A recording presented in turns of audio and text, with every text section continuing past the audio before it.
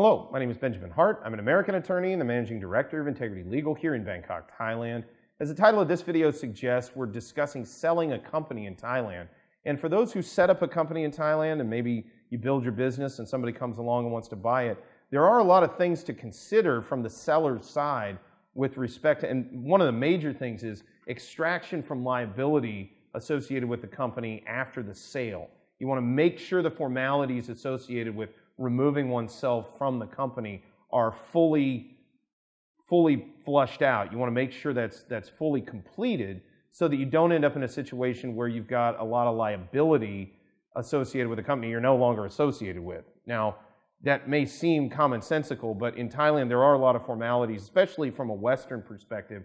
There are a number of formalities that are really unforeseen by your casual Westerner doing business here because honestly, Westerners can make a lot of assumptions that really aren't valid under the way the Thai legal system works.